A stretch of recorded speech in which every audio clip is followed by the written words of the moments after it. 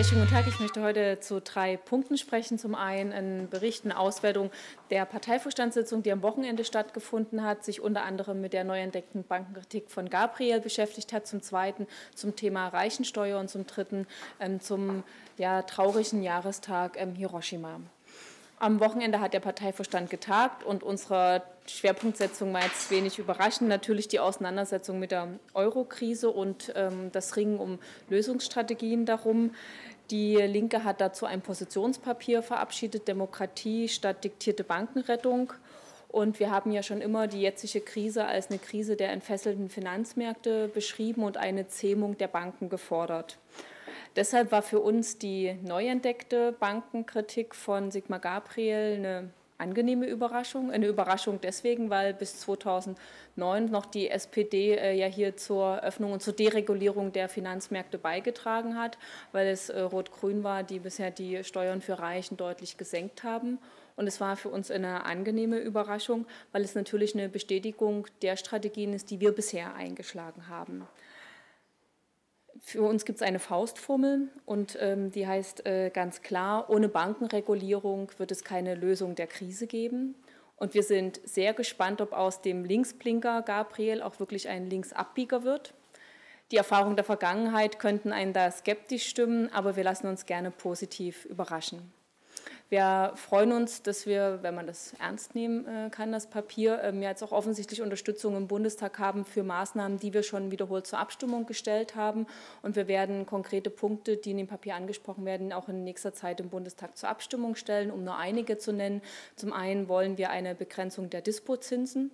Es ist für uns nicht hinnehmbar, dass einerseits Banken sich äh, Geld leihen können zu Zinsen unter einem Prozent, währenddessen äh, kleine Anleger und Inhaberinnen von Konten ähm, extremst hohe ja, Fantasiedispozinsen ähm, zahlen müssen. Zum Zweiten wollen wir, dass endlich ernst gemacht wird mit einem Trennbankensystem.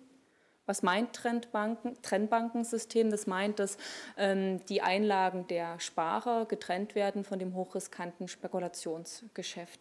Und zum Dritten wollen wir eine Begrenzung der Bankenmanagergehälter. Wir orientieren da auf das 20-fache ähm, eines Einkommens eines normalen Arbeiters in einer Bank. Aus diesem Anlass möchte ich auch einige Worte generell äh, zur Debatte um die Zukunft des Euros sagen. Markus Söder hat sich da ja in unglaublich unangenehmer Art und Weise hervorgetan.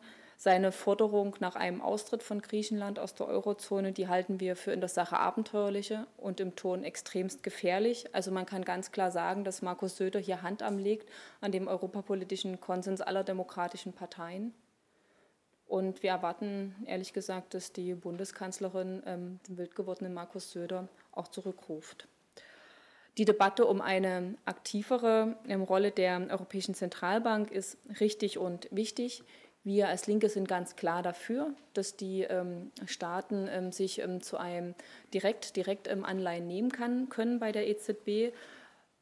Es liegt ja auch auf der Hand, es ist ja nicht hinnehmbar, dass sich die Banken bei der Europäischen Zentralbank äh, Geld leihen können zu einem Zinssatz, der unter einem Prozent liegt, um es dann ähm, zu einem Zinssatz im zweistelligen Bereich von über 10 Prozent weiterzuleiten. Ein weiterer Schwerpunkt unserer Parteivorstandssitzung war die Vorbereitung des Wahlkampfes und Vorbereitung einiger Aktionen. Eine der Maßnahmen, die ich hier erwähnen möchte, war zum Beispiel, wir haben beschlossen, dass wir eine Aktionswoche für militärfreie Bildung ähm, beschließen. Es ist eine Aktionswoche, die sich äh, gegen Rekrutierungsmaßnahmen der Bundeswehr in den Schulen und Hochschulen ausspricht. Die findet Ende September statt.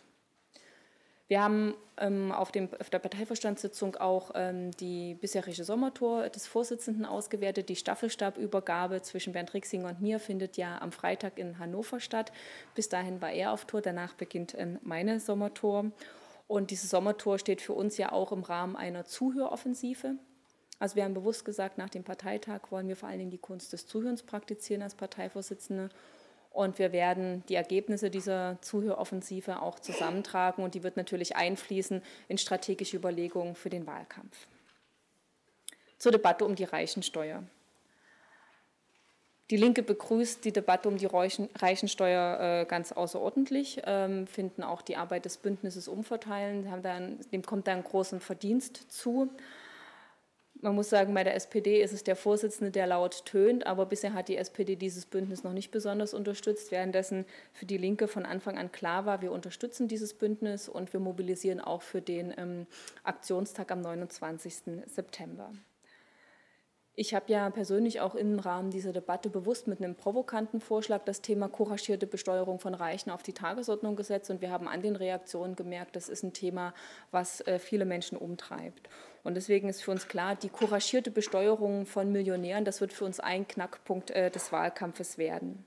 Und wir meinen, es ist auch deswegen notwendig, die Millionäre, die Superreichen zu besteuern. Zum einen, ähm, damit die Profiteure der Krise auch die sozusagen Lasten der Krise tragen, aber auch zum Zweiten tut es Not, überschüssigen Reichtum abzupumpen, damit der fließen kann in den sozialökologischen Umbau. Wir hatten im Jahr 2009 das Thema Reichtum besteuern auf unseren Wahlplakaten. Und wie gesagt, das Thema die Besteuerung von Reichen wird auch ein Schwerpunkt, Schwerpunkt im Wahlkampf, im kommenden Wahlkampf sein, um es klar auf den Punkt zu bringen. Die Besteuerung von extremem Reichtum ist einer der Schlüssel zur Bewältigung der Krise. Zum dritten Punkt der heutigen Pressekonferenz. Wir haben heute einen traurigen Jahrestag, den 67. Jahrestag von Hiroshima. Das ist ein Jubiläum, was bisher wenig Beachtung gefunden hat. Für uns ist das ähm, Anlass, nicht nur zurückzublicken, sondern auch ähm, nach vorn zu schauen. Wie ist es ähm, sozusagen, wie ist es bestellt um das äh, Versprechen einer atomwaffenfreien Welt? Und für uns ist das auch Anlass, zurückzudenken in ein früheres Primat der deutschen Außenpolitik, der Gewaltverzicht. Und äh, wenn wir heute festhalten müssen, dass jede zehnte Waffe in der Welt aus Deutschland kommt, dass die Bundesrepublik der drittgrößte Waffenexporteur ist, ist das für uns ein nicht hinnehmbarer Zustand. Die Linke sagt ganz klar, nicht nur, aber auch anlässlich des 67. Jahrestages von Hiroshima sagen wir ganz klar, es muss sofort Schluss sein mit dem Export von Waffen aus Deutschland. Man macht einfach keine Geschäfte mit dem Tod. Vielen Dank.